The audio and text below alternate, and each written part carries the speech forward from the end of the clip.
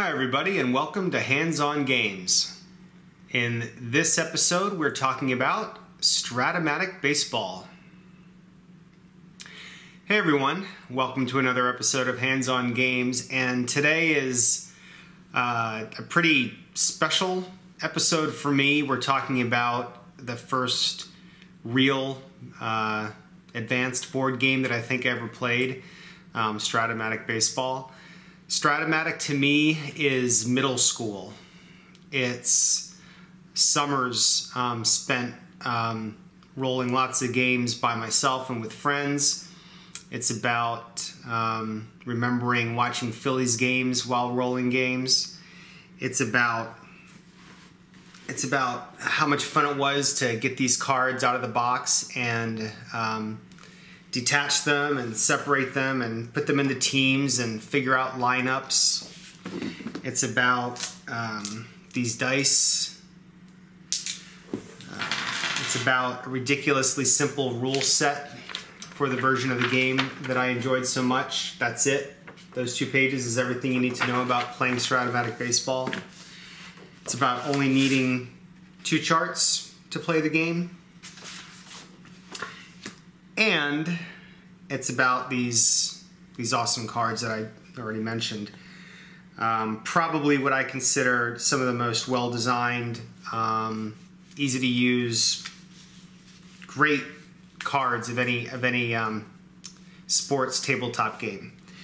I'm getting a little bit ahead of myself though. I want to tell you a little bit about um, how this game ended up on the channel this week. Uh, a couple weeks ago, I happened to walk into a toy store, a local toy store called Geppetto, um, Geppetto Toys. It's a it's a chain. I um, I live in Southern California. I'm assuming there's Geppetto toy stores other places.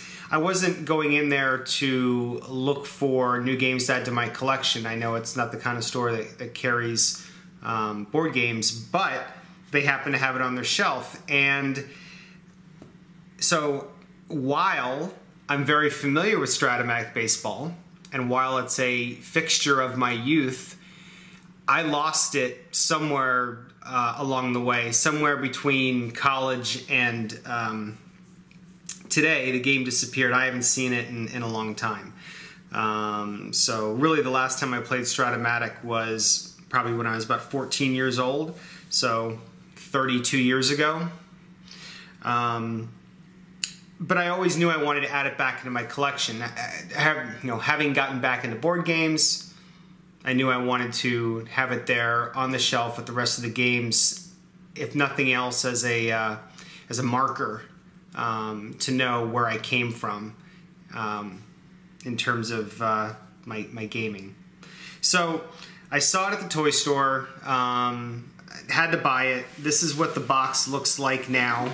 Um, it's the same shape and size as I remember it. The contents are largely the same actually 30 years later, um, but the look the look is a little different. Um,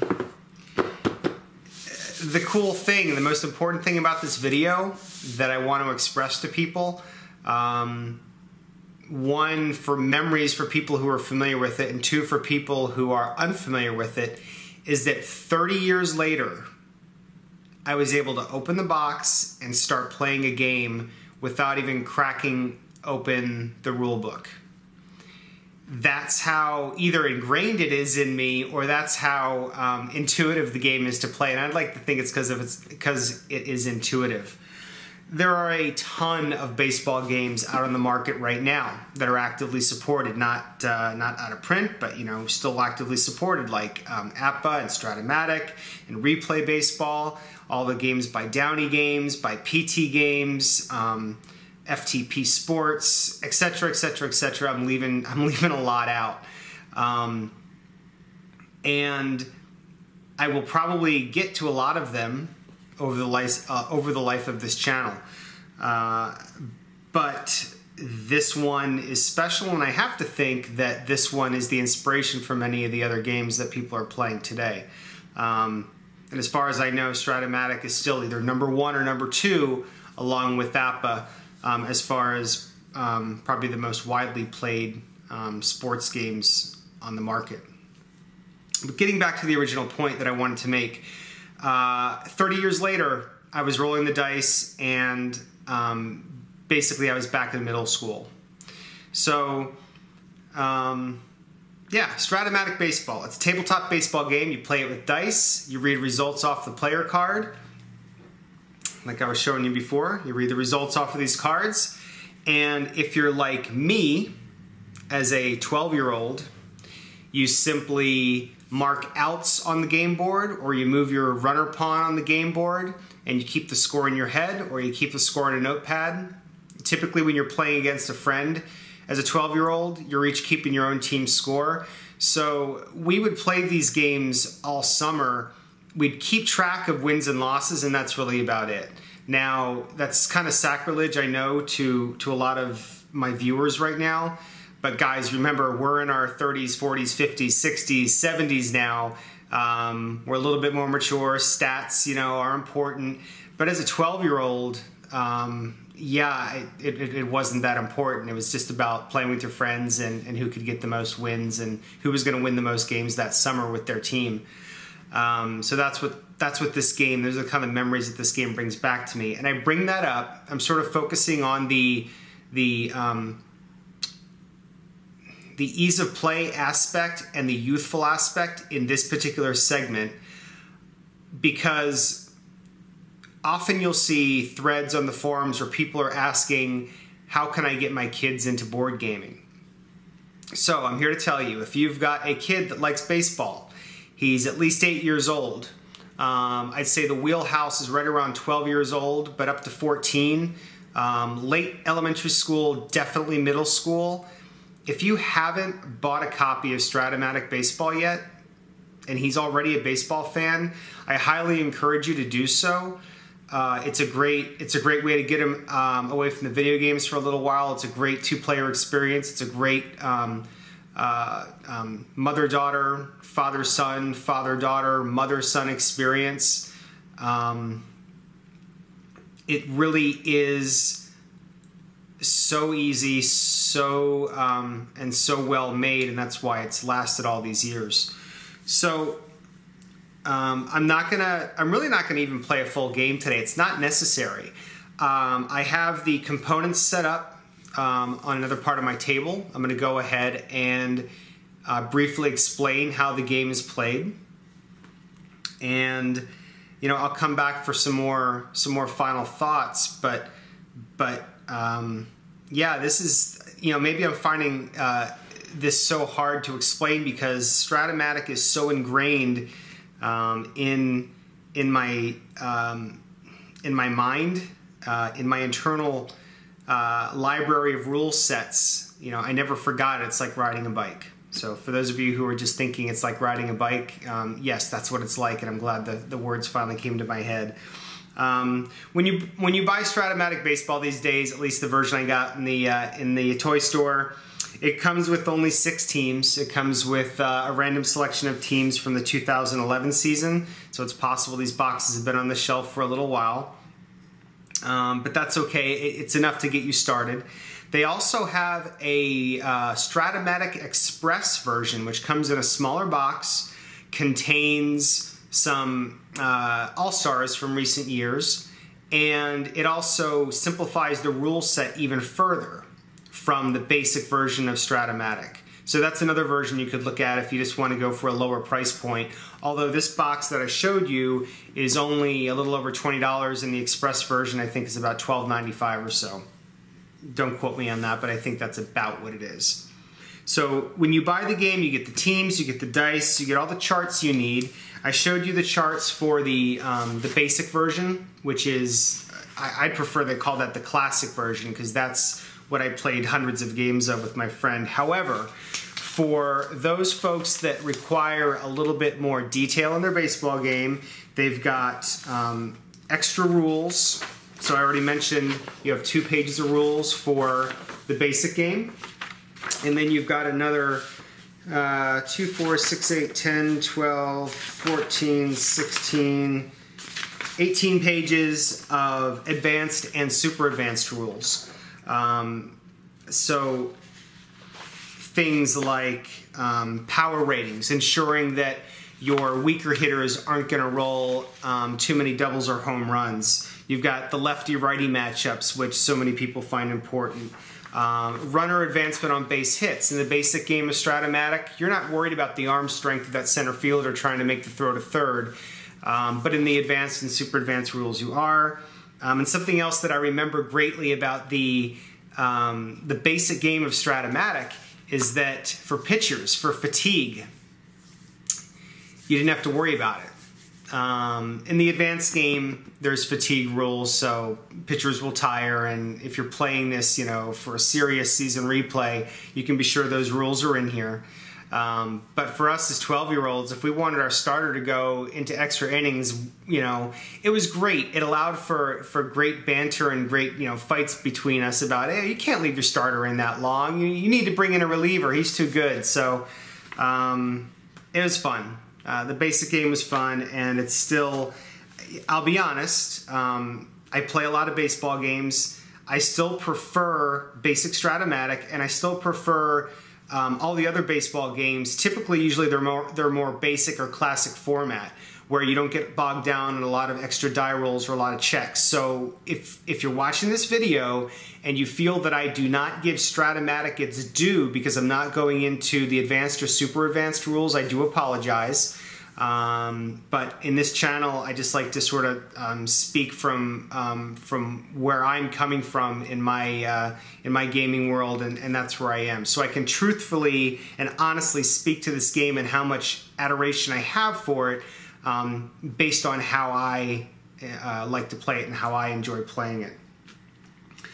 Um, so I think that's quite a bit of rambling about my history with the game and and how much I like it. Um, oh, I need to close the thread. So, so yeah, so this is a game that um, I haven't seen since uh, the last time I saw it in my closet in the house that I grew up in. Then I moved away, uh, went to college. Next time I saw my stuff, um, a lot of things were gone, including Strat-O-Matic, um, garage sale, or or uh, or Goodwill or something. So hopefully my old Strat-O-Matic game and seasons went to a good home. Um, but now I've got another copy. Uh, maybe at some point, you know, I think I'll dabble in maybe some of the, the great teams just to just to roll a game here and there.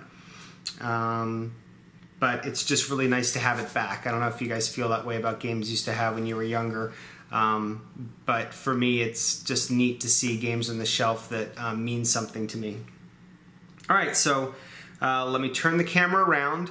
Uh, for those of you who are already familiar with the game, this is going to be a, um, a, very boring overview, but for those of you who have heard of Strat-O-Matic, um, you're maybe coming over here from the Board Game Geek forums and you're not really a sports gamer, uh, take a look at what I'm going to show you, um, and hopefully you have some interest in baseball. So if you have some interest in baseball and um, you know you enjoy uh, playing head-to-head -head against someone or solitaire, because let me tell you, no games play better solitaire than sports games, period. Um, I know a lot of people on the Geek try to turn more abstract thematic games into two-player games that were generally meant for two players and they, they play both sides. Um, playing both sides in a sports game is so easy. Um, so if you haven't tried it and you were thinking about it, um, this game would be a great place to start. All right, so um, let's take a look at it.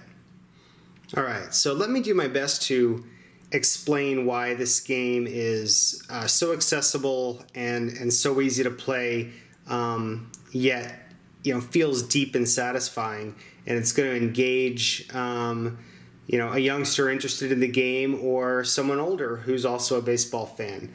The key is in the the cards themselves. Um, you'll notice that I'm holding a, a batter's card on the left and a pitcher's card on the right and you've got six columns. For each at bat, now, and also I should mention, Strat-O-Matic is an at bat by at bat baseball game. So if you're not familiar with sports games, especially baseball games or baseball strategy games, you're not going to be rolling the dice for every pitch. You're simply going to roll the dice once for each batter's at bat to find out what he did that at bat. Did he strike out? Did he walk? Did he get a hit? Did he hit a home run? Etc. It all happens with about 80% of the time one roll of these three dice. And the other 20% of the time you may need to roll the D20 uh, to get the final result on a fielder's check, for example. But you'll notice the six columns. The first die, the white die, when you roll them, is going to tell you which column do you read the result from. The columns 1 through 3 on the pitcher's card or columns 4 through 6 on the batter's on the pitcher's card. So this is what's known as a 50-50 game. So in each roll of the dice, you have a 50-50 chance of reading the result from the pitcher's card, which is typically going to be more advantageous for the pitching team, or from the hitter's card, which typically is going to be more advantageous for the hitting team. And what's super cool about this is when you roll the dice and you get the column, you're going to roll all three and also add up the two red dies, the two red die values to get the result number. So in this case, a result of 2, which is the column on the white die, and 8, which is the row with the red dice, would result in 2, 8, a ground out. So in a Strat-O-Matic baseball player card, you're going to get um, just enough information um, to have a, a, real satisfying, deep baseball experience, but it's not going to overload you with information you don't need. You have the player name, you have the team he plays for, you have the positions that he played in the season that's being represented, and how well or poorly he did at that position. The defensive ratings for 1 to 5. When you see a number 1 next to that fielder's position, you know he was very good at that position that year. Uh, a number five means not so much. So in this particular case, Alex Gordon of the 2011 Kansas City Royals played left field primarily because that position is listed on top, but also played some first base and he was much better as a left fielder. His stealing rating is a B. That comes into play when you want to attempt to steal, and I'll, and I'll show that on the chart later, and running rating as well when you're trying to um, get some extra bases. Now, the columns are full of results uh, from 2 to 12, which is based on the two red dice that you roll together. And you'll see sometimes, if you look over here in column 3, you'll have a result of 5. A 1 to 8 is a home run, and 9 to 20 is a double. That adds some suspense to the game. So you've got this d20 that you're going to roll to find out the final result for that at bat. Um, it's it you know it adds some excitement to the game. And then down at the bottom of the card, you have his uh, actual statistics from the season being represented by this particular card. And this is helpful, especially for youngsters when they're trying to put together their lineups or just understand who are the better players in the team. But after a while, you won't need to use this information. You'll be able to tell how good or bad a player is just by reading the possible results that, that come off the card. And it's also a good way to teach kids about probabilities because, as you know, the likelihood of rolling a 7 with two six-sided dice is greater than rolling a 2 or a 12. So it's not just about the results that are on printed on the cards, it's also the probability that they'll be um, rolled on any given uh, die roll. So, you know, it's a good way to teach kids about probabilities as well. On the pitcher's card, uh, similar, uh, similar attributes, the name and the team, the defensive rating as, the, as a pitcher, also a notation of which batting card that pitcher will use. It's, the game comes with generic cards to allow the pitchers to take an at bat if you're gonna if you're gonna go ahead and play with National League rules, and whether the pitcher is a starter or a reliever. The game does ask you that you only use starting pitchers as starting pitchers and relievers as relievers, and then all of the results and their pitching record down below. The game board that comes with the game is a little bit different than what I remember from 30 years ago, but the idea is the same. You're going to track your outs over here, 0, 1, or 2, and you're going to track your base runners. Um, you know, you can put your pawns out here when you have runners on base to keep track of how many folks you have on base. Now, this is important because as the game progresses, you're going to have results that require you. Let me just pull one up here. Take a look at um, result number eight here where it says ground ball to shortstop, A. Now, you will memorize what that means, but when you're just learning the game, you're going to reference this chart. And it tells you on a ground ball, the batter is out at first, and if there's no runners forced, the runners hold. If one or more runners are forced, runner on first is out, completion of a double play, other runners advance one base. So you'll learn that if you've got a runner on first, and you roll a ground ball A, that you're going to have a double play. You're going to get two outs, and these two runners are removed from the bases. So two outs and bases empty.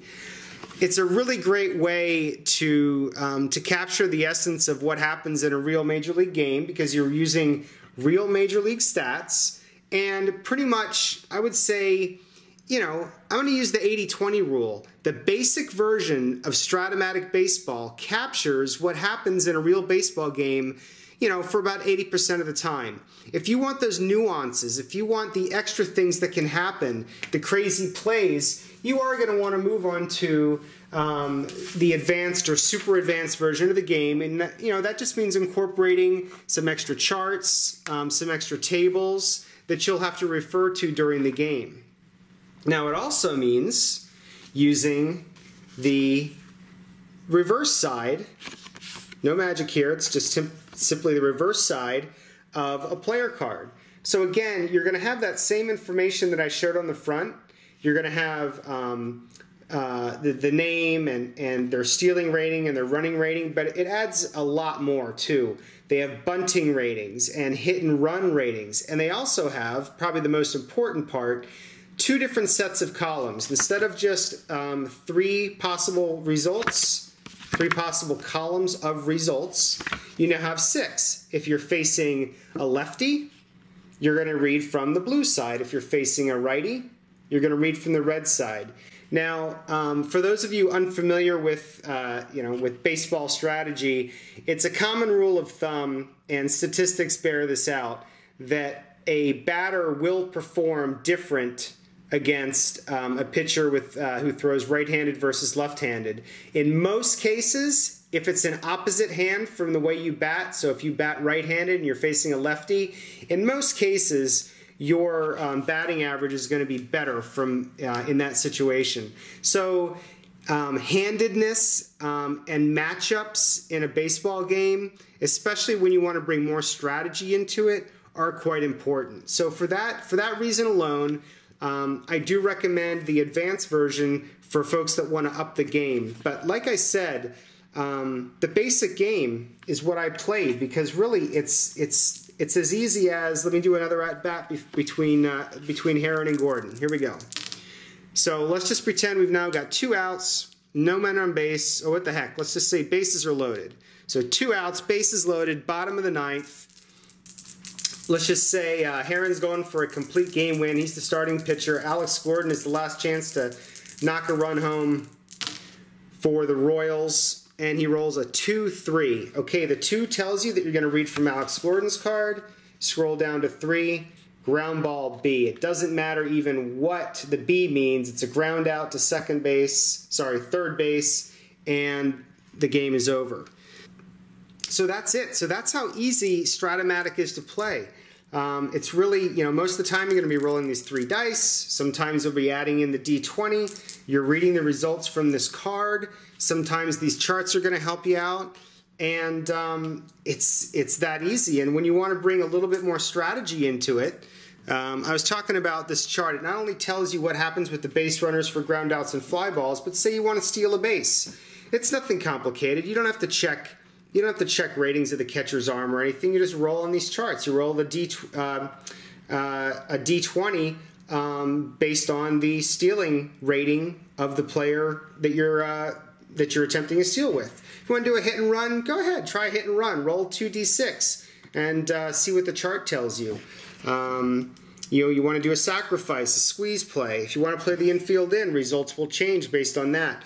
It's just enough strategy to um, to one, for me as a, as a gamer, it's enough strategy to keep me engaged in a game that's already using real life stats that are represented on these cards with players that I know. Um, because I know we're, we're using uh, 2011 teams here, but um, you can go ahead and order more recent teams, um, all time great teams to play with players you're familiar with. And they, they perform like they would on the field and again, for the young the young kids out there, for your for your children and grandchildren, I highly recommend the playing the game this way. Don't bother bringing the score sheets into this. I, I didn't talk about that. Um, watch my History Maker baseball video. You'll see that I love keeping score. Um, I do think that's an important part about teaching kids about baseball is how to score a baseball game. But to get them started, just put this mat, play mat in front of them, put this one chart in front of them, give them a stack of their own cards or have them make their own lineup and start rolling the dice and just get them interested in in moving the pawns around and keeping track of how many outs there are. Then when it's when there's three outs you, you take turns. Whoever's up to bat gets to roll the dice and whoever's pitching you know will will be the uh, observer for that inning. And uh, and so that's stratomatic all right, guys, so that is Stratomatic Baseball. Um, it's been around for decades. It's probably going to be around for decades. Um, the goal of this video today was not to do a full run through of Stratomatic Baseball and teach you all the rules. Um, first of all, the rules are the rules of baseball. Um, like I said in the in the previous spot, um, it's you it's rolling one set of dice for every at bat for every batter, reading a result. You know, either booing or cheering depending on what happened, and uh, and you know doing it until the game's over. And God, what else can you do with the game? You can draft teams. You can buy you can buy seasons, and you can mix the players up and draft your own teams. We we've done that before, and that's a hoot. Um, uh, mixing and matching players not only from different teams from the same season, same seasons, but uh, players from from uh, all across baseball history. Doing that's fun. So, um, you know, final thoughts on on what this can mean for your family and for your kids. It's a great teaching tool. It's a great um, introduction to board gaming. It's a great introduction to sports board gaming. It's a great introduction to the strategies of baseball. Um, when you have your kids walking by the TV set and you're glued to a baseball game, but they don't understand what you know what's interesting about this. It's so slow. It's so boring. This is a game that starts to help them understand. Oh, okay, there are some nuances here. Of course, the 12 year old's not going to use the word nuance, but I think you get what I'm talking about. Um, in every at bat in a baseball game, for those of us that are fans, there's something to pay attention to. There's something interesting going on. This game helps bring that to life. Um, and does so. It eases you into it um, better than any any game on the market can. Um, all the other games that I love to play, the rule sets are a little bit deeper than Stratomatic Basic. Stratomatic Basic gives you a really cool looking card and gives you um, a lot of ability just with one roll of the dice to make a lot of cool things happen easily without having to dig into rules and worry about um, combinations and permutations of things that can happen. Extra checks on a, on a, on a, on a fielder's arm or his range, etc. Uh-uh. Um, and it provides, in the end, a final box score that looks like a real baseball box score. So, yeah, you know, I, you know, my wife's a middle school teacher. I think often about how board games can be used as a teaching tool. So I think Stratomatic is a good one to teach the kids about the sport of baseball, about board games, about probability. I already talked about that. Um, I think you know having having your son or your grandson or your daughter or your granddaughter looking at the cards and realizing okay what the probabilities are based on a certain situation it's just good stuff to get them started um, for for higher level thinking um, as they move on through school and um, as they play other games, uh, learning about probabilities of certain die rolls um, is going to give them an edge in competitive board gaming as well. Um, so what else can I say about it from that standpoint? I think that's about it. Maybe I'm overdoing it a little bit, but I do believe in the power of board games um, uh, to to do a lot of things. Um, one, it keeps the mind sharp for us older folks. To be honest, that's why I see myself staying in this hobby long term. Um, rolling the dice and doing simple math in your head, um, you know, goes a long way to, to, to keeping the uh, the neurons firing and and prevent um, prevent uh, bad things from happening long term. Um, like I said, there's also the uh, there's the social aspect of it. When you're playing head to head, it's a lot of fun, but also um, so moving on from the what can this do for the youth of our nation angle to um, to my audience, who I know are um, a split between solo board gamers and sports board gamers, with maybe some some other folks mixed in there as well. It's a great head-to-head game, no doubt. Um, managing against another person live is is awesome, but I've done 99% of my sports gaming and my baseball gaming solitaire. Trust me, um, playing sports games solitaire, especially baseball, is is highly rewarding and a ton of fun. Um, you're there at the park, you're calling the game, you're in the broadcast booth, or you're in the dugout managing the game, yelling at the players. Um, you know, just like you can get into the trenches in a war game, you can definitely get into the dugout in a baseball game. And um, you know, bringing it back to Strat-O-Matic and not just board gaming in general, Strat-O-Matic makes it easy to uh, is an easy entry point into that world for sports games. So I think that's my main point there for Strat-O-Matic.